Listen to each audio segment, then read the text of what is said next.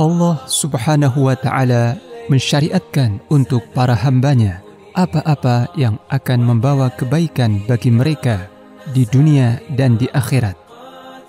Semua kebaikan ada pada syariat Allah. Di antara yang Allah syariatkan bagi hamba-hambanya adalah ucapan salam yang berbunyi Assalamualaikum. Artinya, semoga keselamatan dilimpahkan kepadamu. Ini adalah ucapan penghormatan atau tahiyyah yang Allah Subhanahu wa taala syariatkan bagi seluruh hambanya semenjak diciptakannya ayah kita Adam alaihissalam dan berlaku untuk segenap keturunannya.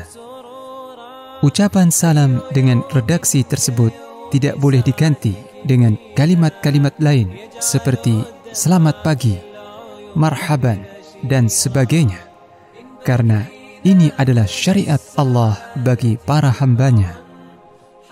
Abu Hurairah radhiyallahu anhu meriwayatkan Nabi sallallahu alaihi wasallam bersabda Ketika Allah menciptakan Adam alaihissalam Allah berfirman اذهب فسلم على أولئك نفر من الملائكة جلوس فاستمع ما يحيونك فإنها تحيتك وتحية ذريتك فقال السلام عليكم فقالوا السلام عليك ورحمة الله Pergilah engkau, lalu ucapkanlah salam kepada sekelompok malaikat yang sedang duduk itu.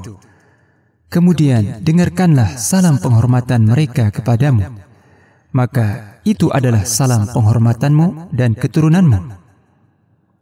Adam pun mengucapkan Assalamualaikum. Semoga keselamatan dilimpahkan atas kalian. Maka para malaikat menjawab, Assalamualaikum warahmatullah. Semoga keselamatan dan rahmat Allah dilimpahkan kepadamu.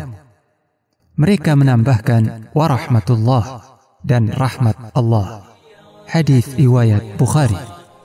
Marilah kita budayakan ucapan salam di antara kita dan kita sebarluaskan salam kepada orang-orang muslim yang kita kenal ataupun tidak kita kenal.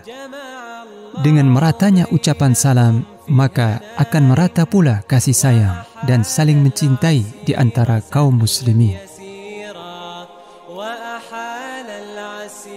سهلا يسيرا